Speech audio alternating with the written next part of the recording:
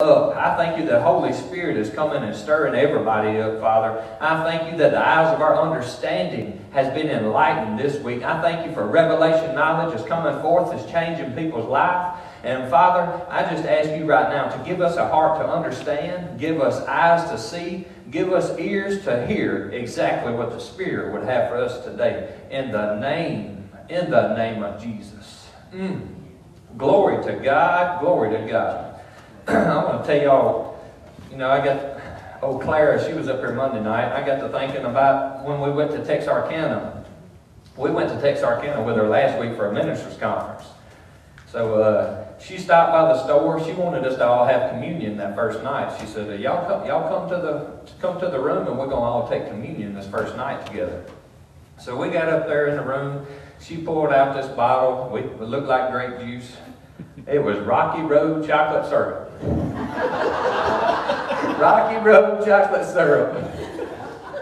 Oh my Lord, we, we laughed. I, I, bet it took us an hour to take communion. And it probably took us another hour after that to catch our breath after eating that stuff. we just we just turned it up. it did it. I mean it had a wrapper on it, had vines and all kind of stuff, it looked like grapes.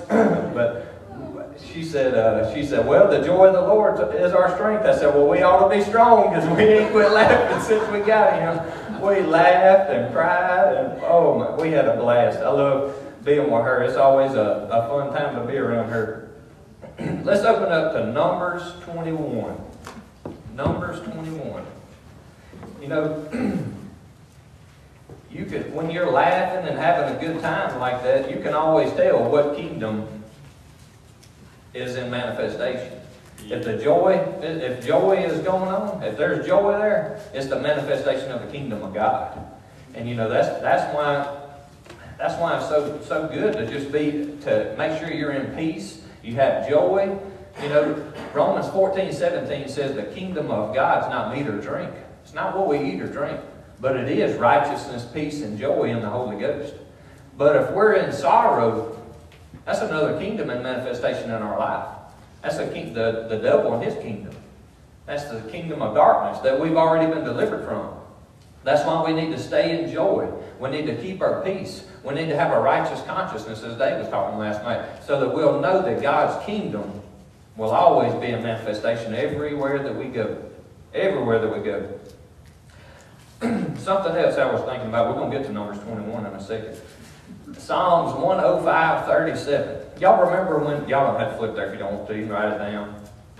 Y'all know when, when Moses led Israel out, out of Egypt, it was anywhere between two to six million people that come out of Egypt.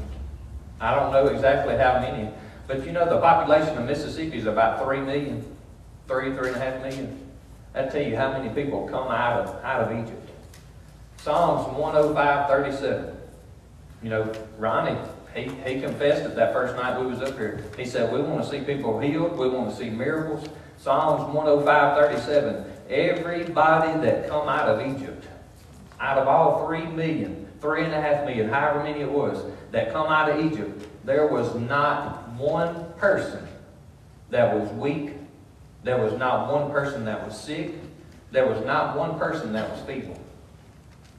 You think about, just thinking about the population of Mississippi itself and think about that nobody there being sick. Nobody, nobody in the population being sick. Come on. That's the way God wants us to walk. He wants us, He don't want us to be weak. He don't want us to be feeble. He don't want us to be sick. He wants us to be healthy, alive, and whole. so let's look at Numbers 21. Numbers 21.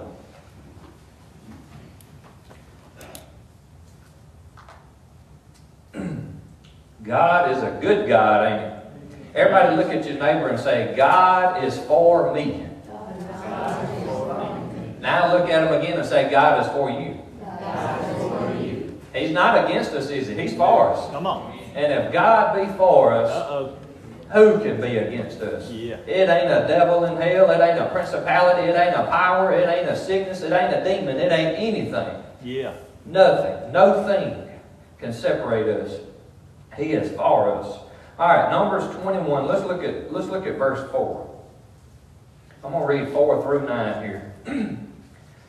All right, this is uh, verse 4. And they journeyed, they had just, if you read the first couple verses, they had just defeated Canaan. They had defeated the Canaanites.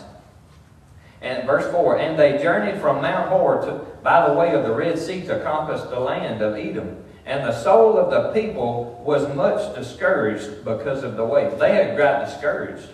They hadn't seen the promise. They hadn't walked in the promise. They hadn't done everything that God had promised them in the beginning. They hadn't seen it. So they, they had become discouraged. And the people spake against God and against Moses. They were speaking against God and his anointed person that he had in charge. In other words, they were murmuring and complaining. You get to thinking about it. Do we murmur and complain throughout the day? Come on. As we're speaking against God when we murmur and complain. and I'm just telling you, this is some things that put sickness on us, murmuring and complaining. And they journeyed from Mount Hor by the way of the Red Sea to compass the land of Edom, and the soul of the people was much discouraged because of the way. And the people spake against God, and they spoke against Moses. Wherefore have you brought us up out of Egypt to die in the wilderness? There's no bread, neither is there any water, and our soul loatheth, loathes for the, this light bread. They said they didn't have any bread or water. We know they was lying right there because they had manna coming down from heaven. They had the rock. All they had to do was tell that rock to give them some water, and it was giving them water. But they wasn't satisfied. They murmured and complained. And the Lord, because they were murmuring and complaining, it says that the Lord, the Lord thy God, seed time and harvest, you sow this uh, seed of corruption, you're going to reap corruption. They were murmuring and complaining, so seed time and harvest, there was something coming.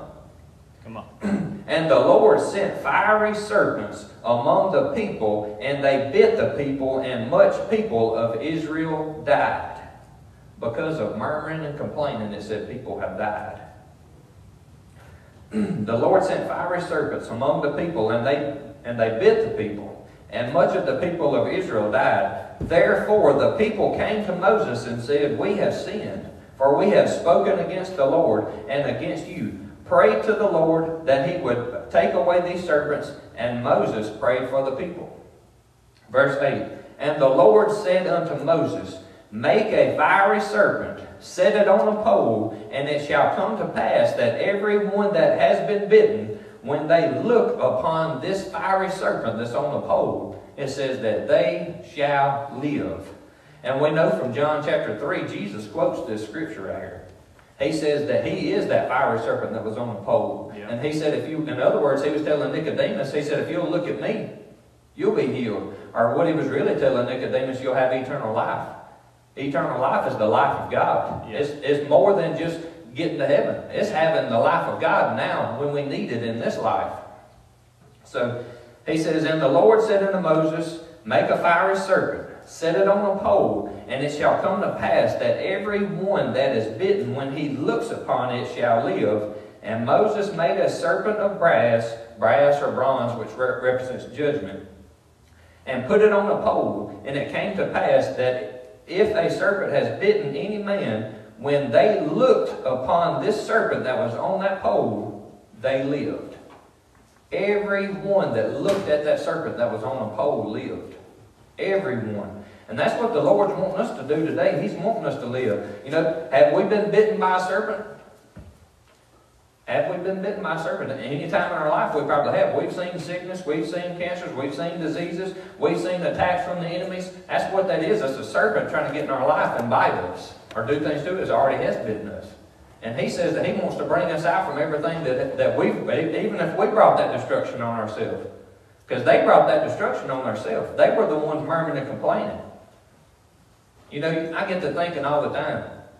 It's a lot of people, you know, that uh, request to be healed of cancer. They've been smoking their whole life. You think the Lord's merciful enough to heal somebody that smoked their whole life? Oh, yeah. He's merciful enough. They brought destruction on themselves. He will still heal them. Yeah. He will still heal them. He, he keeps covenant with mercy. Yeah. He wants to heal people. You know, Psalms 107.20 said he sent his word and healed them, and he delivered them from their own destruction. Yep. We've done things in the past that we can't take back. He's still merciful enough to heal us for every past mistake we made. Yep. And he'll do it today.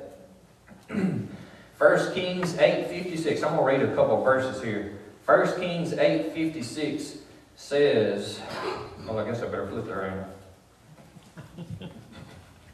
First Kings eight fifty-six. I know what part of it says. It's a pretty long one. Eight fifty-six. Blessed be the God who has given rest to his people according to all that he has promised. He's promised us rest. There has not one failed word, there has not one word of all of his promises ever failed, which he has promised by the hand of Moses. Amen. Not one of his words has ever failed him. Not one of his promises has ever failed him. Every one of his promises are yes and amen to the glory of God Yeah. in Christ Jesus, as Dave was talking about last night. In Christ. That's why we need to know who we are in Christ, because all the promises of God are yes and amen to the glory of God in Christ. Yeah. Who we are now. That's our new identification. All of God's promises are yes and amen. And not one of his promises, not one of his promises have failed us. Not one. Jeremiah 1.12 says that he watches over his word. He watches over his word and he hastens to perform it. He wants to perform it quickly. He watches over his word so that he can perform it in your life. He watches over Isaiah 53. Jesus has borne our sickness. He has carried our pains, and with his stripes we are healed. God watches over that word. He's wanting you to get it inside of you. He's wanting us to get this word inside of us. He's wanting us to get it inside of us so that he can perform it. Mm-hmm. He's got to have something to work with. Ezekiel 12 25 says, The Lord has spoken the word, and he will surely bring it to pass. He spoke the word, and he will bring it to pass. I'm telling you, I don't have time to read all the promises of God. we could sit in here all night, and we might get we might get through Genesis covering some of the promises of God. But He will bring it to pass. Whatever it is that we're believing for, if we're believing for our kids to be delivered, if we're believing for health, if we're believing to come out of a financial struggle that we've been in, whatever it is, whatever He has promised us, He will not fail it. He will not fail to bring it to pass in your life. He's watching over it so that He can perform it in our life. Isaiah 55 says, Lord, let's, let's look, it's a, it's a long one too. I'm trying to think how much I want to cover. Isaiah 55. I know it says his word won't, won't return unto him void. Let's see. Verse 11, he says, So shall my word be that goes forth out of my mouth. It shall not return unto me void, but his word will accomplish everything whereunto he has sent it. Everything that he has sent his word to do in our life. We read Psalms 107.20, he sent his word to heal us. He sent his word to heal us and to deliver us from our destruction.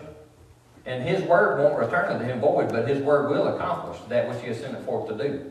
And it will prosper in every area whereunto he has sent. Y'all believe it? Yeah. The problem is we don't take him at his word. Yeah. We don't, we don't believe that he can hold his end of the covenant of it. That's sad to say. Psalms 119, uh, verse 89 says that his word is forever settled in heaven. It's time for us to get it settled in our heart and start believing it. And quit being, quit uh, flip-flopping back and forth. Well, maybe it ain't his will. Maybe it is his will. We can't be like that. We've got to make up our mind. As, as Joshua said, we've got to make up our mind today. Choose this day. Choose this day whom we're going to serve. Who you going to put your trust in? Who we're going to put our trust in? we need to make, make up our mind today to, to know who we're going to serve. In Ecclesiastes chapter 8, verse 4, it says, Where the word of a king is, there's power. Where the word of the king is, there's power. You know, Dave last night, he was talking about confessing the Scripture, confessing the Scripture. By your stripes I am healed. By your stripes I am healed. Is that our word or is that his word? Yes, is. That's his word. So every time we confess that word out of our mouth, his word out of our mouth, there's power. Yeah. There's dynamic power dynamite power, available right there. Every time we confess that word out of our mouth, where the word of a king is, there's power. Yeah. Jesus, you said in your word that by your stripes I am healed. Yeah. We got to be bold in our confession of faith. We can't back down and cower down. We've got to be bold in our confession of faith and know what we believe in and not be wavered, not be moved by what everybody else is telling us or circumstances that are trying to rise up. Because you better believe when you start trying to trying to teach on healing or whatever. I remember the first time I started teaching on healing, first thing I did, I was getting sick. I'm like, "My Lord, is this right? Is this true? I'm telling you, the devil comes immediately to steal the word out of your heart. Yeah. If we preach healing, God's going to come and manifest healing to us. We preach salvation, He's going to come give us salvation. If we preach deliverance, He's going to give us deliverance. He wants to manifest His word, but if the devil comes and steals that word out of our heart, there's not going to be anything there to manifest. Yeah. He wants to manifest His word to us. That's what we're saying. He's watching over His word so that He can perform it in your life. Yeah. Mm-mm-mm. Where the word of a king is, there is power. Man, that, whew, Lord have mercy. That's powerful there in itself.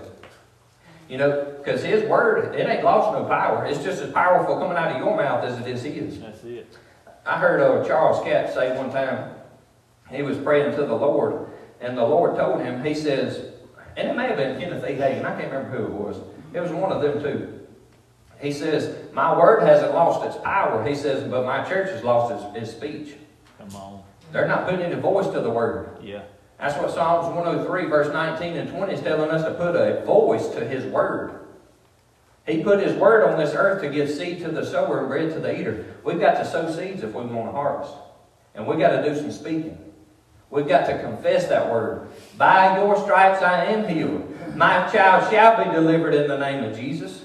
I will not die. Like Clara was saying, she fell on the floor. She had a stroke and fell on that floor. What was the first thing she was saying? I shall live and not die in the name of Jesus, and I will declare the works of the Lord. She didn't call it like it was. She called it like she wanted to see it. Yeah. That's, that's the thing. We got to quit getting in agreement with, with the world, with the doctor's report, start getting in, in agreement with the Word. Yeah. We got to get in agreement with what He says because what He says is powerful. It carries the power to deliver. Yeah. It is the anointed Word of God. That's what Isaiah 27 11 says. The anointing shall break the yoke. The anointing shall destroy the yoke. It ain't just going to break it, break that sickness off of you. He says that He's going to destroy it so that it can never come back. Mm. Nahum 1 and 9, affliction shall not arise a second time in the name of Jesus. but we, we get caught up in traditions, you know.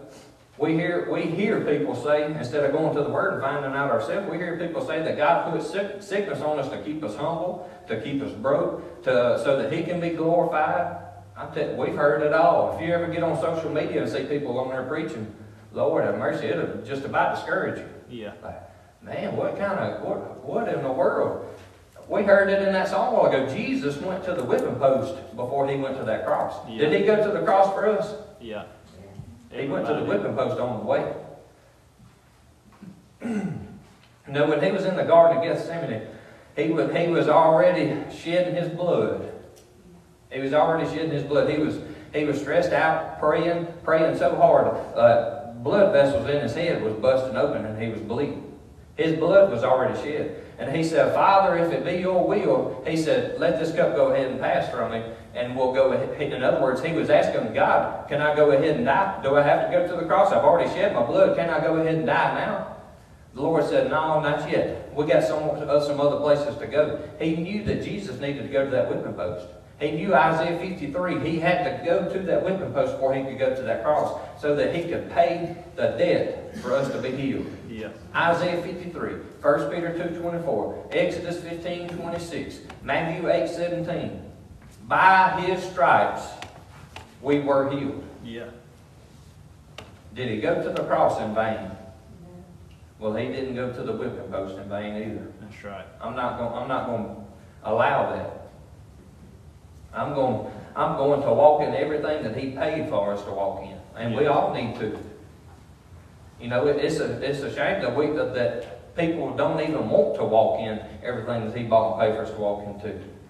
And a lot of it, a lot of it goes back to us not getting in the Word. Yep. We're not getting in the Word and people preaching the wrong thing. It's sad. Traditions of man make the Word of God of no effect. Yeah. Traditions of God, tra- traditions of man, I'm sorry, bring the Word of God of no effect. You know, you get to thinking about traditions. I heard somebody preaching uh, here a while back, and uh, this girl grew up, and in the house, every Thanksgiving they would cook this big bread. They would get this big, big loaf of bread, they'd cut the ends off of it, and they'd put it in the oven.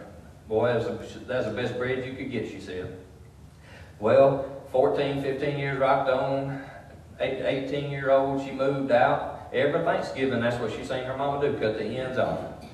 She seen her mama cutting the ends off of that bread, both sides of that bread. She just got married, she called her mama, she said, we're having a Thanksgiving uh, lunch over here, y'all wanna come over here and eat? She said, yeah, we'll be over there. Well, of course, the mama got there early, she wanted to help her, help her daughter cook. So the doc, the mama went in there, and that girl pulled out pulled out that bread just like her mama did. She cut the ends off of it. She said, "What'd you do that for?" She said, "That's what you've always done. That's what we've always done. We've always cut the ends off off of our bread." She said, "Yeah, but my pan was a lot smaller than yours is too." we get so caught up doing things we see other people do and saying what we hear other people say, and we don't know why why they do it. So therefore, we just do it anyway. Come on. We hear somebody say that God ain't going to put on us more than we can bear. Therefore, before we know it, that's what we're confessing. That ain't what the Word says. Come on. We think that we're supposed to glory in tribulation. We're supposed to glory in, in uh, sickness and stuff like that because we heard somebody else say it. That's tradition. It's time we put an end to tradition. We got a bigger pan now. Yeah. Come on. we got a bigger pan now. I tell you what, uh, we was one of our buddies. He's actually a preacher. I'm not going to mention his name, but uh, we could. But well, I guess that narrowed it down a pretty good bit, didn't it? he, he just become a head deacon of a church up around our house, and uh, I'm gonna say it. Yeah. he just become a head deacon up there, up there at another church around the house. So it was he, he got to make some some big decisions and stuff as the, for the church and stuff like that. So he went up to some of the other deacons. He said he said let's wait and take up uh, the tithe and offering at the end of the service instead of at the beginning. So sure enough, at the at the end of the service, like everybody's looking at the beginning, everybody's looking like, what's going on? At the end of the service, they took up the offering. Boy, all the other deacons boy, that, that had just come off the board and stuff like that, boy, they, what are you doing? We've always done this and that. Come to find out, he wasn't at that church but about two more weeks and he had to get out. they done got set in their ways. oh, my Lord. but how, how can we believe believe for God to heal us if we believe that He's the one that's got us going through something. That, that's sobering right there. You know, we, we believe that it's God's will for us to go through this tribulation, for us to be sick during this time, for us to have this disease, or for us to lose a child. We believe that it's, it's God's will for us to go through that. How can we ask God to heal us if we think He's the one that's, that, that's put that on us? or that He's the one got us going through that. We can't pray a prayer of faith if we're unsure why we're going through something. If He put it on us, if the devil put it on, put us on, put it on us, we got to pray the prayer of faith. If we don't know who's doing what, we can't pray a prayer of faith. Y'all get anything out of this? Oh, yeah. Well, let's go to 1 John chapter 5. 1 John chapter 5.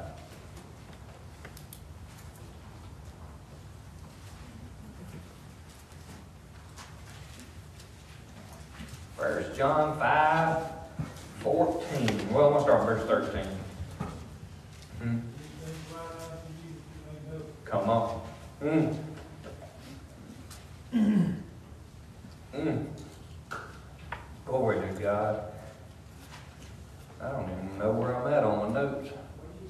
First John 5, we're going to start verse 13.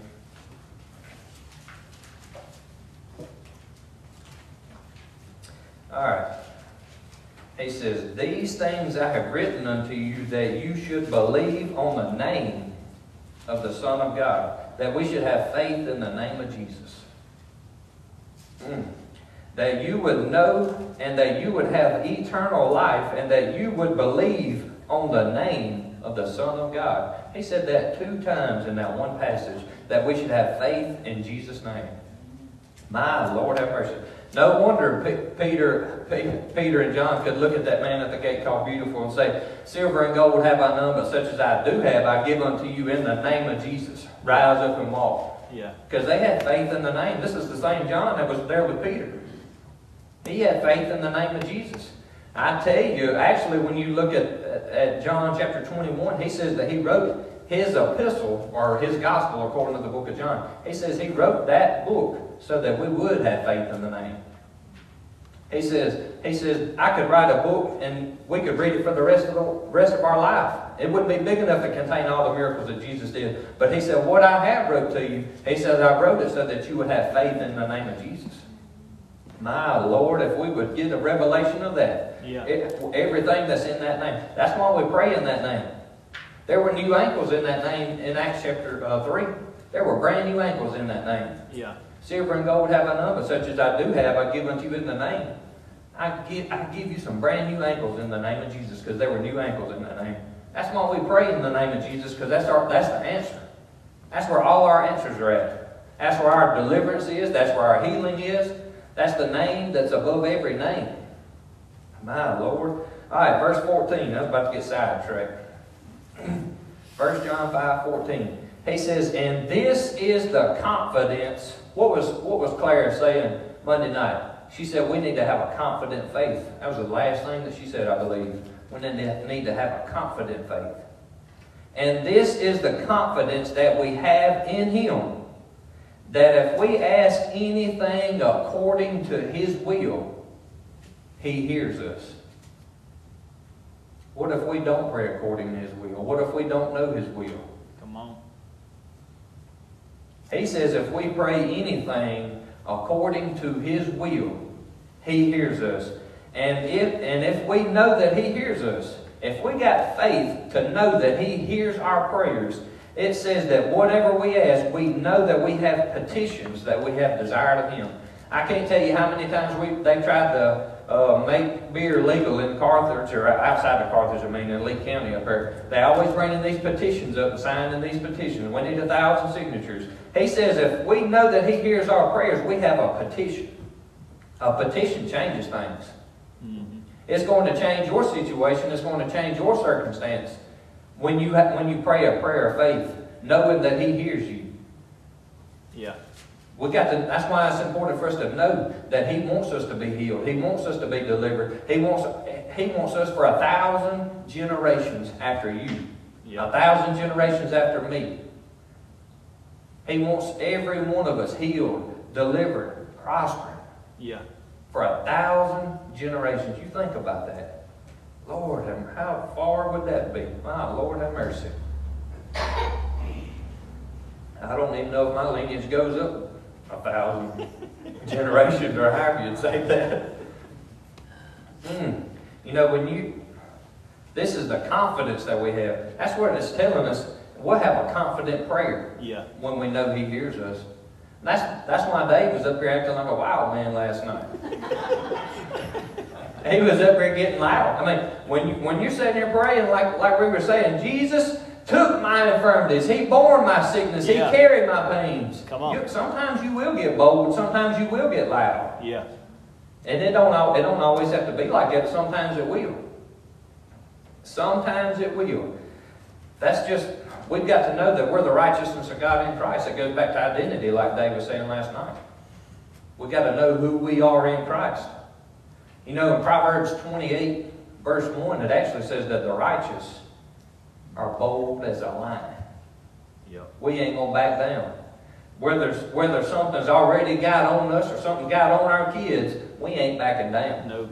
And we ain't gonna put up with it either. With the righteous are bold as a lion, we're going to attack it. I I heard somebody preaching last week talking about bulldog faith. So what in the world? what are you talking about some bulldog faith? They said, you notice how a bulldog's nose curves up? That, that way when they grab a hold to the promise, they can still breathe. They won't let go.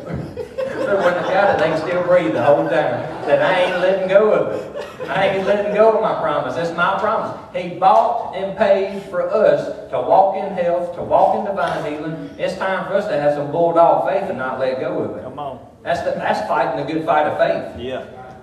That's fighting the good fight of faith. I tell you what, let's look at Romans chapter 1, talking about righteousness.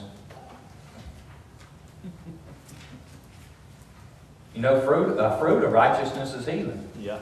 When, you, when you're in right standing with God, it'll produce a fruit inside of you, which is healing. That's 1 Peter 2.24 right there.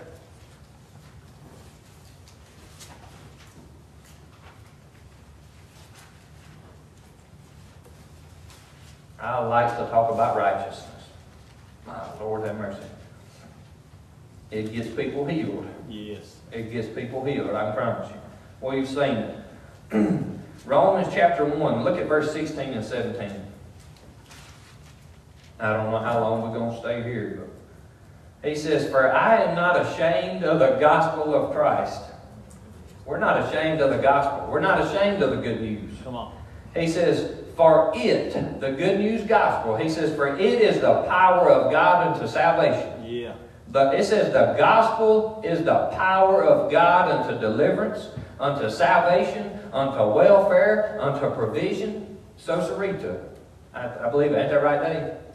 Something like that. I know it's sozo, comes off of sozo, but it's the longer word, salvation. Look that word up, salvation there. It is the power of God unto somebody being delivered. When we're up here preaching the gospel, that means it's the power of God to somebody being healed, to somebody being delivered right there by preaching the gospel.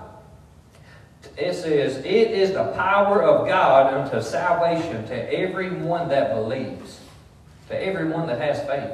Anybody in here got faith? Yeah. We got faith. And it is the power of God. This gospel that we preach is the power of God to us.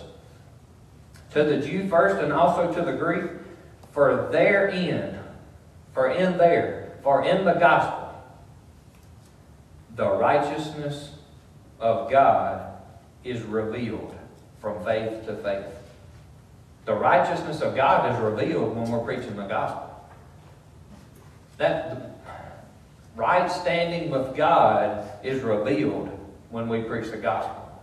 Right stand, having a right to healing, having a right to salvation, having a right to partake of all these things that He's paid for. That's why we preach the gospel. To impart revelation into people, to show them that they can have this life. That they don't have to die and go to hell. That their kids don't have to struggle with these things.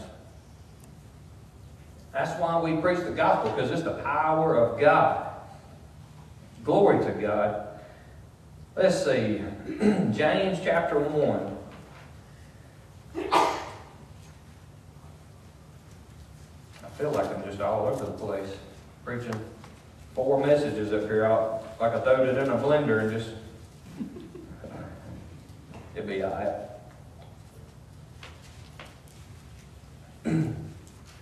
So we need to make up our mind and know God's will and have faith in it and believe it. James chapter 1 verse 6. It's right after Hebrews and right before 1 Peter.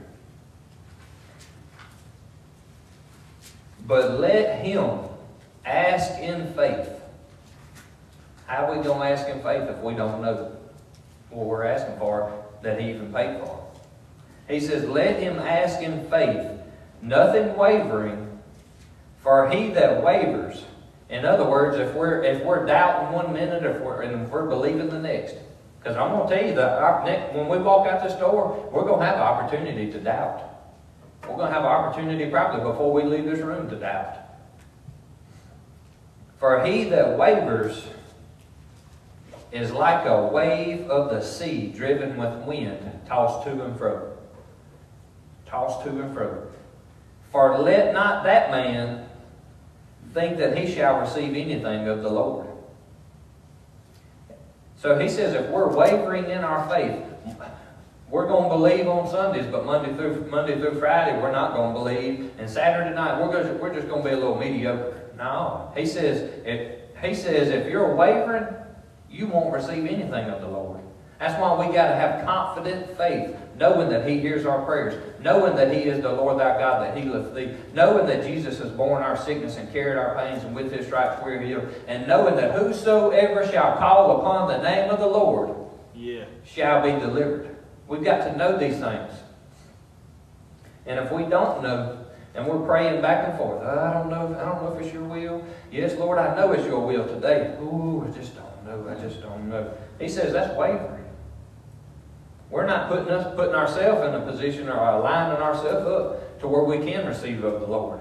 He says, let him ask in faith, nothing wavering, because if he does waver, he's like a wave tossed to and fro in the sea by the wind. Let not that man think that he should receive anything of the Lord. And he says, a double-minded man is unstable in all of his ways. He says, if we're believing one minute and doubting the next, we're unstable.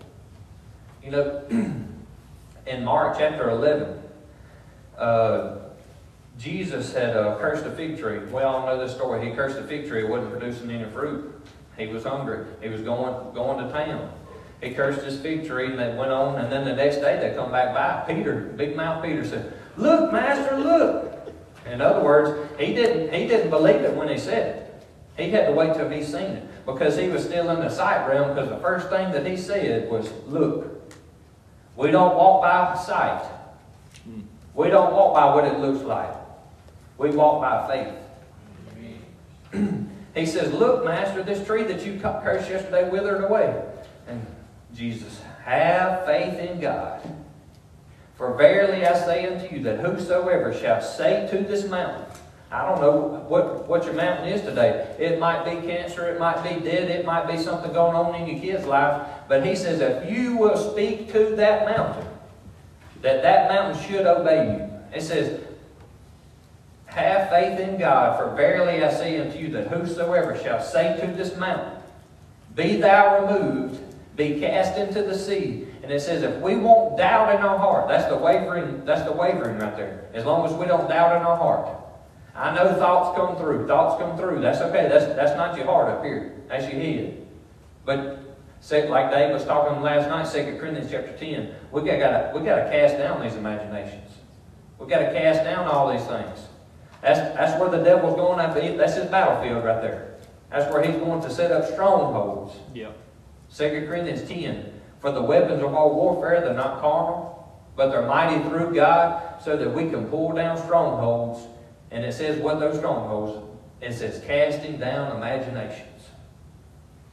We have all these imaginations, I just don't know if my kids are going to make it through college. I just don't know if I'm going to make it till I'm 80 years old. I don't know if I can pay my bills this week. All these imaginations just running through your head Yeah. can become a stronghold for the devil to attack God. Yeah. Because you're living below what God ordained you, uh, created you to walk in if you're, if you're entertaining all these thoughts, letting them stay there. You know, like, that's, that's, that is warfare right there, like Dave was saying last night. I know, he, like I, I told him last night, I said, I said, you preached my message. I said, I said, my whole message is shot. I got till tomorrow, and I got to work all day tomorrow, and then come up here and preach. That's why I keep saying Dave said this and Dave said that. He preached my message. you, you think he, you think he preaches with me all the time. But uh, like Dave was saying last night, that's warfare right there. The devil is revelation knowledge. Yeah. The devil trying to keep you from getting revelation knowledge. Yeah. 2 Corinthians chapter 4, it says, If our gospel be hid, Come on. this good news that we're preaching. Remember the good news that we're preaching from Romans chapter 1 that has the power to deliver people, to heal people, to set people free, to save people? Yeah. That good news gospel we preach? He says in 2 Corinthians chapter 4, If our gospel be hid, it is hid to them that are lost, in whom the God of this world, Satan, has blinded their minds so that they can't even see it. He won't allow them to get revelation of it. He don't want them to get revelation. But it didn't stop there. It said, unless the light of the glorious gospel would shine unto them. He's defeated when we get revelation of it. He's defeated, he's already defeated, but he's under our feet when we get a revelation of who we are in Christ and that, that he, he bought, Jesus bought and paid for us to be healed, delivered, and set free. To live in the provision of God. To walk in that kingdom of God authority. Let's see. Glory to God. It's time to, it's time to pick, pick and choose which side you're going to be on. Let's see. You know, something else to think about. Got to thinking about this. If we think that God put something on us, or we're, that God is allowing us to go through this tribulation, if God's put this sickness on us or allowing us to go through this sickness for a season in our life, why do we go to the doctor? Mm. And I'm not down with doctors. We need doctors. I love them. I'm thankful for them. But if we think that it's God's will for us to for us to go through these things, the first thing that we do is we go to a doctor and we're trying to get out of his will. If, if, if it's God's will for us to, to go through this, hey, let's man up and just take it. You know what I mean? But it's not. It's not His will for us to go through these things. Yeah. That's why Jesus went to that whipping post so that we, we, we wouldn't have to. He borne our sickness and carried our pains. Where did He carry him to? He took him to the lowest pit Yeah. and dropped him off so that we wouldn't have to carry him. Acts 10.38 says that God anointed Jesus of Nazareth with Holy Ghost and with power. And it says that Jesus went about doing good, healing all that were oppressed of the devil, for God was with him. That, that's what Jesus did when he walked this earth. He was anointed by God so that he could go heal the sick, so he could go raise the dead, cleanse the lepers. Freely you have received, freely you must give. You know, he, he even said in John chapter 6, he said, I didn't come to do my will, Yeah. I come to do the will of him that sent me. So if you want to know God's will for your life, look at what Jesus did in Matthew, Mark, Luke, or John. And that, Peter tells us in Acts 10.38, God anointed Jesus of Nazareth, and he went about doing good, healing all that were oppressed of the devil. It's not God's will for us to be oppressed by the devil. It's not his will for us to be oppressed by the devil. It's not his will. That's right. It's his will for us to be healed and delivered. That's why he sent Jesus. yeah. John 10 10, there ain't no gray area right here. He says, the thief, this is red letters. He says, the thief comes to steal, kill, and destroy. But I have come. Jesus said that he came so that we could have the life of God and have the life of God more abundantly. My goodness. That'll make that get you fired up right there, knowing that you can have the life of God, the Zoe life, right now. Deuteronomy 28, 61. Dave quoted this one last night too.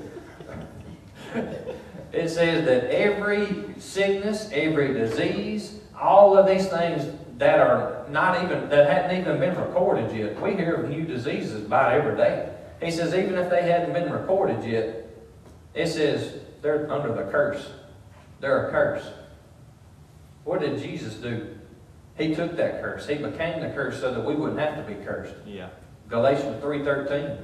Christ has redeemed us from the curse of the law, being made a curse for us. We need to identify what we're, uh, what we're going through right now. Who's it of? Is it of the devil or is it of God?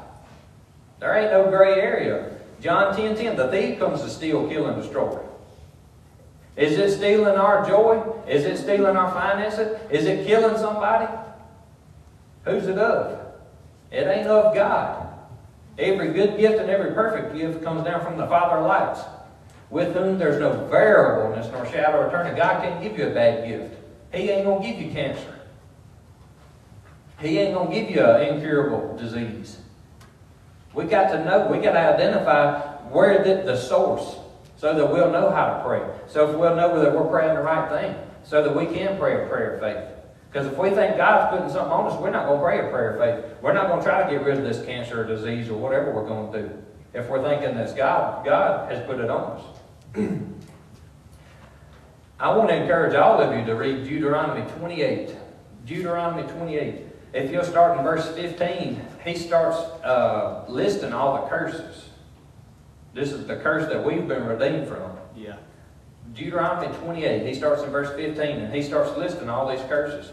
You know, the curse of the law is it. You could put all three of them in. Uh, I mean, all of it in about three categories. The three categories would be spiritual death, it'd be sickness, and poverty. The, every curse of the law could fall under those three categories. And he's telling us in Galatians chapter 3 that that's what we've been redeemed from. Yeah. Spiritual death or sin. We've been redeemed from sin. That's what 2 Corinthians 5.21 says, that God made Jesus to be our sin, who knew no sin, so that we could be the righteousness of God in Christ Jesus. Yeah. That's a law of identification. That's a spiritual law. Spiritual law that governs everything. He identified, it's called the law of identification. He identified with sin. He identified with us so that we could identify with him. Yeah. That's what 1 John 4 17 says. he identified with sin so that we could identify with his righteousness. that don't mean he, sin, he did sin. When it says that he became sin, that don't mean he, he, he did sin. It means that he just identified with it. In sickness, we know he identified with sickness. Isaiah 53, he bore our sickness, carried our pains. With his stripes we're healed. So he identified with sickness so that we could identify with healing. Poverty. He identified with poverty. That's what 2 Corinthians chapter 8, verse 9 says. He became poor so that we could become rich. And it's not just talking about spiritual, uh, being spiritually rich either. Read 2 Corinthians chapter 8 and chapter 9. It's talking about finances. Let's see. Let's look at John chapter 3. I'm going to show y'all something else. Good gosh. Where did the clock go? My Lord. I should be done nine. What'd y'all say? Nine thirty? Good. Y'all getting anything out of this? Good. It builds your faith. Romans 10 17. Faith comes by hearing, and hearing by the Word of God. A lot of this you done heard one time, you're going to hear it again, and I promise you, if I get invited back, it won't be the last time. we like to build our faith. We don't, we don't have a victory because we heard it one time. And faith is the victory that overcomes this world. Let's see. John chapter 3. Let's see. I'm gonna, I'm gonna start in verse 12 right here. And uh, right here, Jesus is talking to Nicodemus, and he's quoting what we read earlier in Numbers 21 about the fiery serpent on the pole. Let's see, John chapter 3. I'm going to start in verse 12, just read a couple verses here. He says, If I have told you of these earthly things and you, and you don't believe, how shall you believe if I tell you of heavenly things? And no man shall ascend to heaven but he that came down from heaven, even the Son of Man which is in heaven. He says, And as Moses lifted up the serpent in the wilderness, this is Numbers 21, as he lifted up that serpent in the wilderness, even so must I, the Son of Man, be lifted up that whosoever believeth in him should not perish but have eternal life. That's what he was telling us in John uh, in uh, Numbers 21. If we would if we would behold that serpent on a pole, that was a type and shadow of Jesus. If a type and shadow of Jesus would heal them in, back in the Old Testament, how much more would Jesus himself heal us if we would look at him? Yeah. He, he, he was that serpent on the pole. And really, you know, the serpent identified as the devil or whatever, he's and every and the works of the devil is saying that he identified with all of that. It's not he became sin. That's what it's talking about 2 Corinthians 5 21. He became all these things. He became all of that. And he put every bit of it on the cross. Everything that was against us, he put it on the cross and nailed it to Yeah. that whosoever should believe on him should not perish but have eternal life. So is he talking about just being saved and going to heaven? He's talking about healing too, because that's what he was talking about when Moses said all this, when God said it to Moses. He's talking about healing, He's talking about salvation. He's talking about the package deal when you give your life to Jesus. Let's see. Glory to God. Romans 8:32. It says that God did not spare his own son. If he didn't spare his own son, wouldn't he now freely give us all things? Me and Dave done a, a Greek Bible study on that word all, it's A-L-L, just to see what it meant. We, we looked through the whole Bible, and every time it said A-L-L, all, to see what it meant. You know what it meant? A-L-L, it meant all. It meant everything. It meant everything. So if he's going to freely give us all things, would he give you healing? Would he give you deliverance? Would he give you a breakthrough? He didn't spare his son. He put him on that pole up there for you. If you can't say uh, amen, say oh me. Hebrews chapter 11. We're going we're going to land this baby right here. Hebrews chapter 11, verse 1. He said, Whosoever should believeth on me should have eternal life. That's what he was telling Nicodemus right there.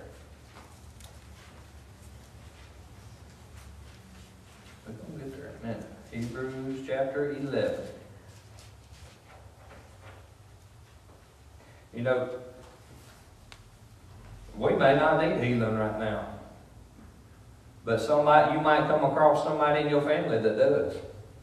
It might be a time when you wake up in the middle of the night, your baby's got 102 fever. Your grandbaby's got 102 fever. What you gonna do? In the name of Jesus, I command this fever to go down. and that's, that's why we're doing this. Maybe, maybe it ain't far right now, but it might be for a time to come. Hebrews chapter 11, verse 1. Now faith is the substance of things hoped for, the evidence of things not seen.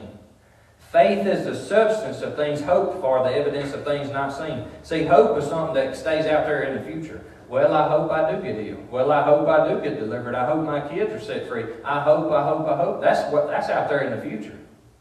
But he said that faith is the substance to everything that you're hoping for. So if you if you've got faith in everything that you're hoping for, you've got the substance to every, sitting there, everything right there. If you're believing for your healing, that if you're hoping for your healing, you know, you got to have that hope first. We're going to do a message on hope one day. But you got to have hope. Hope, ain't nothing wrong with hope. But you got to believe in that. And when you believe in it, it says that you've got the substance to it. Now faith is the substance of things hoped for. If you're hoping for your healing, you need to be believing for your healing too. So that you'll have so that you'll have the substance to everything that you're believing for. It's and hope hope is not the same as faith. in the Amplified Classic, uh, I don't know if y'all have ever read that, the Amplified Classic version, it, says that faith is the title deed to that which you're hoping for. You know, if, if we go buy a vehicle, or we have a vehicle that's paid for, and that title deed gets transferred over into our name, if we got the title deed, we've got, got that vehicle. And that's what he's telling us. If we've got the title deed, he transferred that title of healing over to us and put, that, put our name on that title. If we've got faith, we've got the title deed. If we've got that title deed, that's our healing. That's what he done for us. Yeah. Hebrews chapter 11, verse 6 says, But without faith it is impossible to please him. With, without faith it's impossible to please God. For he that comes to God must believe that he is. Not he was, he is. See, he, he is, I am. That's what he told Moses, I am. He didn't say I was, he said I am. That's what a lot of us look at him, the way we look at him now is I was. That's not who he is. I feel like I've been preaching to you all night. let, me, let me pick you out over here. I get somebody that'll, uh, that'll keep up with me in my eyes and I just preach to them all night. I'm going to get over here. Now, but without faith it is impossible to please him. For he that comes to God must believe that he is, and that he's a rewarder of those that diligently seek him. Yeah. I'm telling you, he wants to reward us. He wants to load us daily with his benefits. Every day. Look at uh, Ephesians 1.19 right quick. This is a powerful prayer to, to pray right here too. In Ephesians chapter 1, uh, you can really start in verse 17 through 23 right here. Pray this prayer over yourself. Claim this prayer. It's a prayer for, that you would get a revelation, uh, not, that you would have revelation knowledge of stuff. We pray it all the time.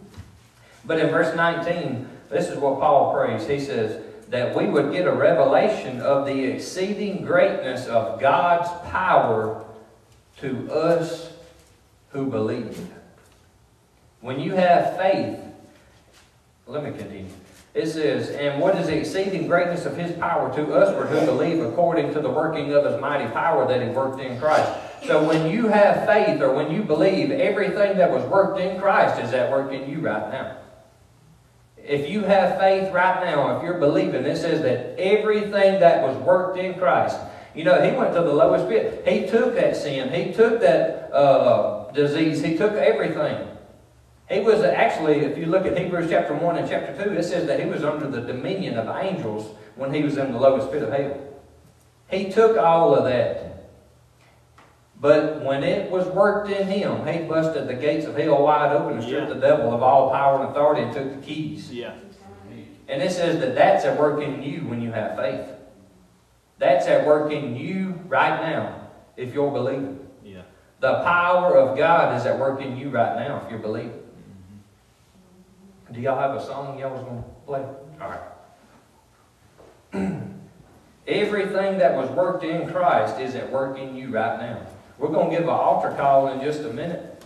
And if you're, if you're not fully convinced right now, I believe that God's going to be merciful enough anyway. If you want to come have hands laid on you, you know, at Mark 16, it says, Go into all the world, preach the gospel. He that believes and is baptized will be saved. He that believeth not is damned. It says that these signs shall follow them that believe. The last 11 words that come out of Jesus' mouth says, They shall lay hands on the sick, and they shall recover. That's the last 11 words come out of his mouth, according to Mark. They shall lay hands on the sick, and they shall recover. Do y'all believe that we can lay hands on the sick and watch them recover? Yeah. That's God's gonna meet you where you're at tonight. I'm telling you, whatever it is, whatever you're believing for, we can get up here and get an agreement. It don't have to be for healing. If you're believing for your kids, healing, hey, we had a woman come to the revival. I know Dave said this last night too. I'm, on, I'm not ever gonna preach another revival after Dave. the night,